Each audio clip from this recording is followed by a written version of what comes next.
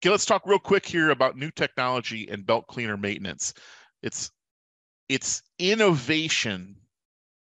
Every every company says they're innovative and um, they want to create new products, but really, what drives innovation for manufacturers are needs from their market.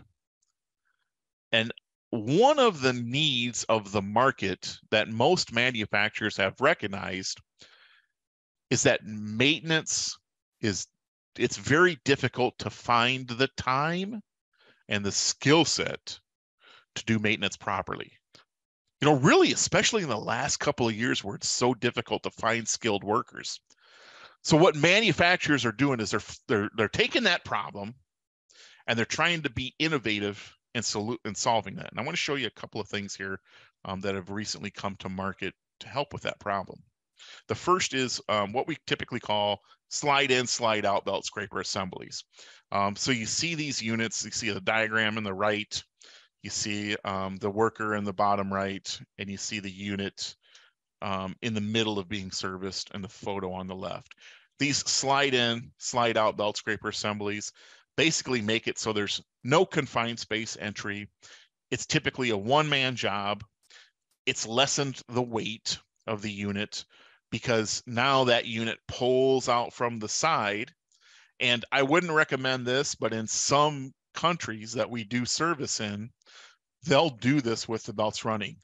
That's certainly not recommended here, but there are facilities um, that have trained workers um, that have had the proper training and have protocol in place that allow them to take the unit out of service, change out the blades from the safety of the side of the conveyor, and then reinstall the unit back into service.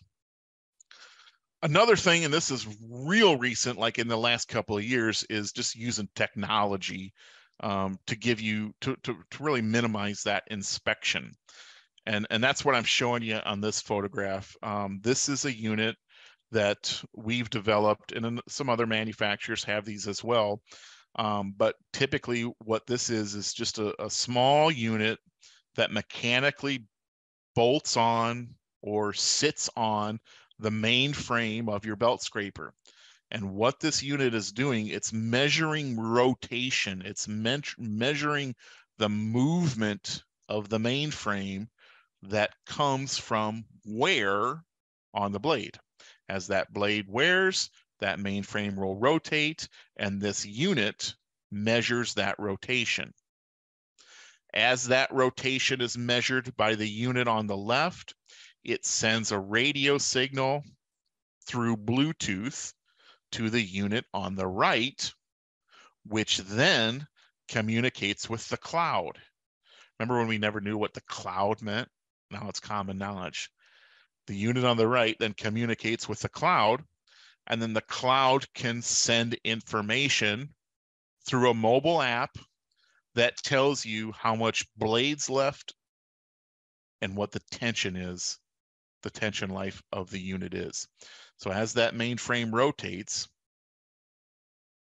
the communications get sent back to a dashboard or to a mobile app that tells either the manufacturer or the maintenance crew or both that, hey, this blade is close to needing to be replaced, no longer have to inspect that blade. Or this blade is close to being needed to be retensioned, no longer have to do any of those inspections. It's all done all right from your smartphone. So this is kind of some cool stuff out there now. Um, really just starting to gain, gain traction in the market. It eliminates inspections. You can remotely monitor multiple head pulleys. Um, you could even m- remotely monitor multiple sites, all from your dashboard. It tells you when to change the blade, when to retension, and it also can tell you when that blade might have come out of contact with that belt for some reason.